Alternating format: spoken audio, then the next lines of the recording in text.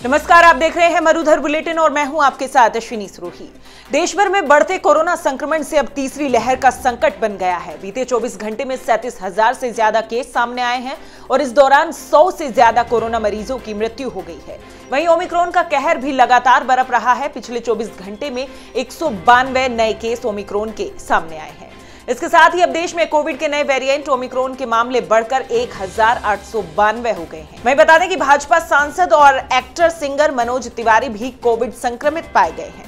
उन्होंने ट्वीट कर ये जानकारी देते हुए लिखा कि मैं परसों रात से ही हल्के बुखार और जुकाम से अस्वस्थ महसूस कर रहा था, जिसके कारण कल उत्तराखंड प्रचार में भी नहीं जा पाया था। उन्होंने कहा कि मैं आज टेस्ट में पॉजिटिव आया हूँ और मैंने सतर्कता बरतते हुए अपने आप को कल ही आइसोलेट कर लिया है।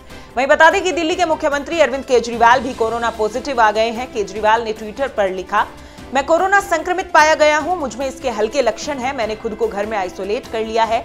जो लोग पिछले कुछ दिनों में मेरे संपर्क में आए हैं, कृपया खुद को आइसोलेट करें और अपना टेस्ट करवाएँ। वहीं बता दें कि राजधानी दिल्ली में कोरोना के बढ़ते मामलों को देखते हुए दिल्ली आपदा प्रबंधन प्राधिकरण यानी डीडीएमए आज होने वाली अपनी बैठक में अधिक प्रतिबंधों पर विचार कर सकता है ताकि संक्रमण के प्रसार पर काबू पाया जा सके।